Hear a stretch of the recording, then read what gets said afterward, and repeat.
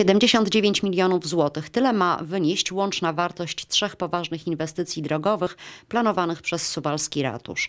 Jeśli uda się pozyskać dofinansowanie, będzie to największe przedsięwzięcie drogowe w historii miasta. Wnioski trafiły już do Urzędu Marszałkowskiego.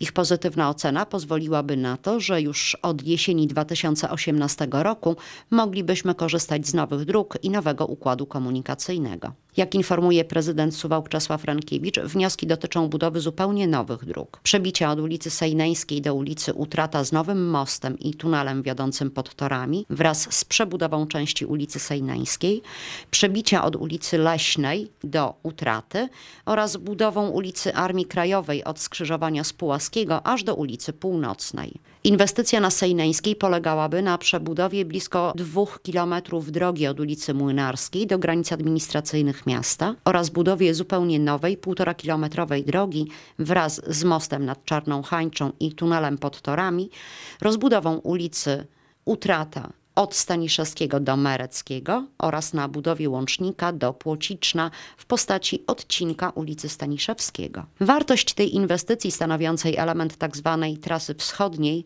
to ponad 47 milionów złotych, z czego niemal 40 to wartość dofinansowania, o jakie stara się ratusz. Drugi projekt obejmuje budowę nowego odcinka od ulicy Wojska Polskiego do Utraty i przebudowę półkilometrowego fragmentu Utraty. Wartość tej inwestycji inwestycji oszacowano na nieco ponad 19 milionów. Ostatnia inwestycja dotyczy budowy zupełnie nowej drogi wojewódzkiej nr 655 od ulicy Pułaskiego do ulicy Północnej wraz ze skrzyżowaniem z ulicą Północną.